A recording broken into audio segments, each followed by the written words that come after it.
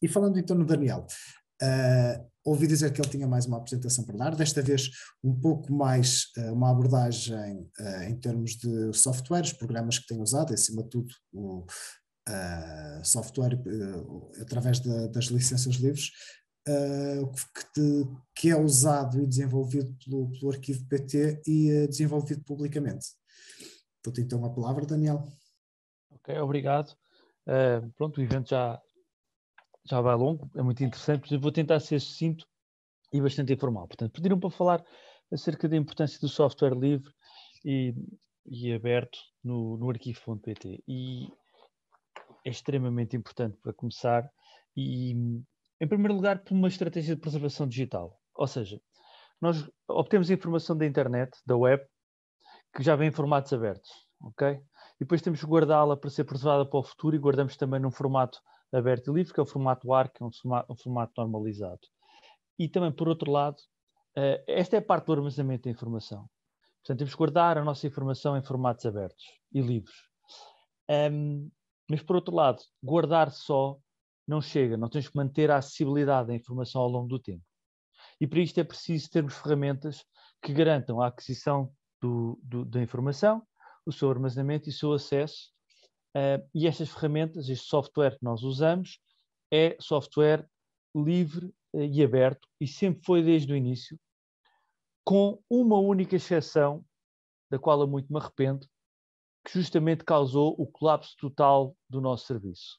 Portanto, a única vez em que eu, como gestor do serviço, na altura do projeto, um, cedi a não usar software livre e aberto veio-me a causar o colapso completo de, do serviço.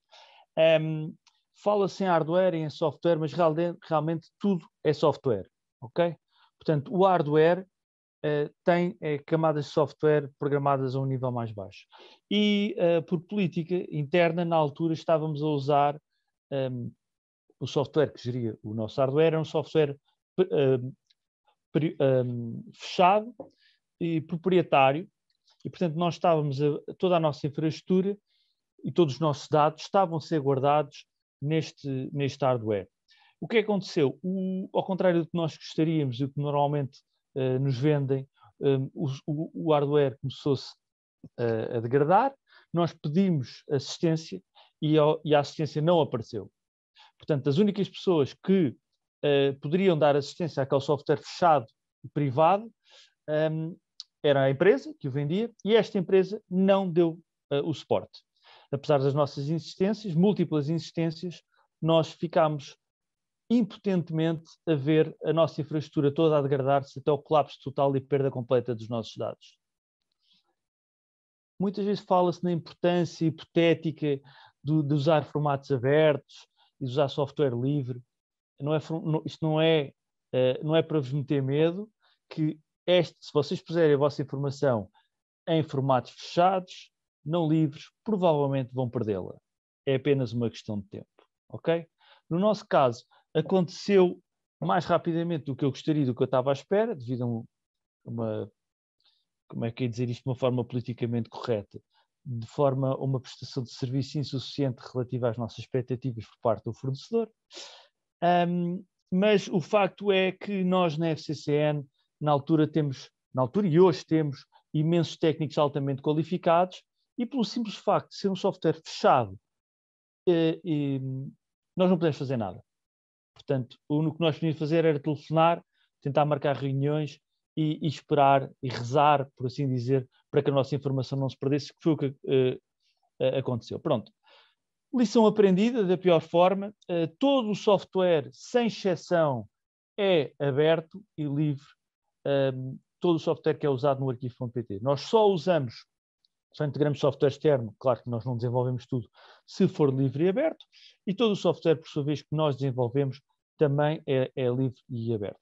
E eu gostava só de vos mostrar, vou partilhar aqui um ecrã, uh, porque uh, uma coisa que nós gostaríamos e sempre incentivamos desde o início é que as pessoas ou a comunidade possa ter acesso ao nosso software. Portanto, deixa-me só. Portanto, qualquer pessoa, se for aqui ao arquivo.pt, estamos aqui na, na, página, por aqui na página de entrada do arquivo.pt. Se for aqui abaixo ao nosso rodapé, estão a ver o meu ecrã? Sim, Daniel. Sim, ok. Portanto, sim. se forem aqui ao rodapé, podem aqui ir à secção de API código aberto e entram então aqui no nosso GitHub, onde nós concentramos todo o software que desenvolvemos e utilizamos. Portanto, nós temos, hum, nós temos vários repositórios, inicialmente este, o nosso software estava alojado no Google Code, depois foi migrado para o GitHub, uma vez que o Google Code desapareceu, mas se vocês forem um destes repositórios, que é o PWA Technologies, podem arrancar aqui a partir do Wiki, e no nosso Wiki temos aqui agregado, no Wiki do PWA Technologies, toda a informação de todos os projetos que nós temos. Um, se forem aqui à nossa conta do arquivo, podem ver que nós temos 62 repositórios, portanto, tudo, sem exceção que nós fazemos, é disponibilizado como software livre e gratuito. Portanto, qualquer pessoa pode vir aqui, uh, descarregar, editar, submeter issues, uh, melhorar. Uh, portanto, toda a nossa informação é livre e, e gratuita. E eu gostava aqui de chamar a atenção para outro aspecto, ah, outro aspecto também importante, que é a questão do, do, acesso dos dados propriamente ditos. Ou seja, um, era, era aqui o exemplo que eu tinha uh, aberto, que é o da wikipedia.org. Uh, portanto, o, o, facto de vocês conseguirem, ou todos nós conseguirmos chegar aqui e ver, por exemplo, como é que era a página da Wikipédia em, em 2008, aqui à distância de um clique, é algo que muitos arquivos da web não suportam, porque há algumas uh, organizações uh, restringem o acesso da informação, ou seja, a informação foi publicada inicialmente de forma uh, livre e aberta na internet, mas depois de ser arquivadas restringem o acesso à informação, esta passa a ser acessível apenas dentro das, de, das instalações das organizações que os, que os guardam. Nós não concordamos com isto, achamos que o nível de acesso deve ser mantido, portanto, se a informação era pública, deve continuar, eh, pública e online, deve continuar a ser pública online e nós esforçamos para que este nível de acessibilidade se mantenha, para que toda a gente possa aceder a esta informação. Um aspecto muito importante é que esta informação não é nossa e nós temos uh, esta consciência, portanto, a informação continua a ser de quem a produziu. Nós apenas estamos a fornecer um serviço de preservação digital gratuito aos autores dos conteúdos na web. Um, então, para esta informação poder ser reutilizada, nós temos um conjunto de APIs, um, e eu gostei muito da expressão que a, que a Giovana utilizou de convergência digital, uh, porque na realidade o sucesso da internet e da web é realmente esta convergência digital, esta interoperabilidade. Portanto, nós sempre que criamos um novo recurso, é importante que este recurso possa interagir, possa se alimentar de recursos externos e também possa contribuir para uh, outros recursos que dele queiram beneficiar. E o arquivo.pt, de modo a, a, facilitar esta, esta interação, esta interoperabilidade, um, disponibiliza uh, uma série de APIs, podem ver aqui no nosso GitHub como é que se podem uh, utilizar Uh, e eu convido-vos a explorar uh, e a, a, desenvolver as ferramentas que considerarem úteis para tirar partido do arquivo.pt. Por outro lado, um, o, o arquivo.pt na sua operação um, gera dados derivados e nós chegamos à conclusão que era importante também abrir estes dados derivados. Então temos aqui uma ligação que diz dados abertos e, portanto, uh, nós criamos listas, uh, por exemplo, temos aqui uma lista, esta aqui, que é uma lista de websites do Afeganistão e a queda do regime em agosto de 2021 outra lista de documentos relacionados com a celebração dos 500 anos da viagem de Fernão Magalhães, outra da Galeria de Galerias e Artistas, que foi justamente criado na sequência daquela colaboração com a Biblioteca Data Fundação Carlos Gulbenkian. Temos coleções de dados uh, também relacionadas com as eleições, uh, de websites de investigação. Um, ehm, e estes conjuntos de dados abertos, estas listas, penso eu que são excelentes uh, recursos para, por exemplo, criar um, ehm, páginas no Wikipedia ou para enriquecer páginas do Wikipedia com links para recursos arquivados. Um, ehm, vocês podem tentar abrir algum destes, destes recursos e podem ver que tem um conjunto de, de, metadados associados. Vou aqui ver se consigo rapidamente descarregar este documento, por exemplo, este das galerias de arte. E um, ehm, o arquivo.pt tem muita informação e muitas vezes nós nem sabemos por onde é que devemos de começar.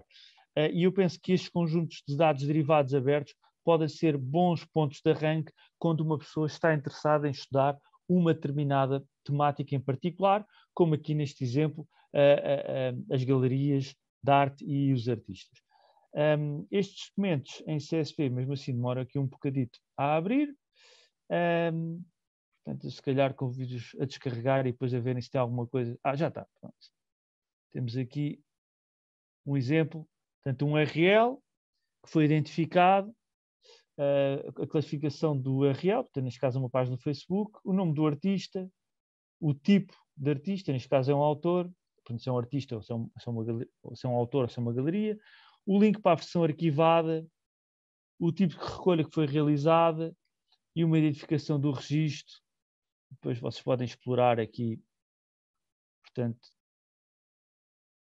uma série de recursos nesta área, ou então de blogs, temos aqui recolhas de blogs de artistas.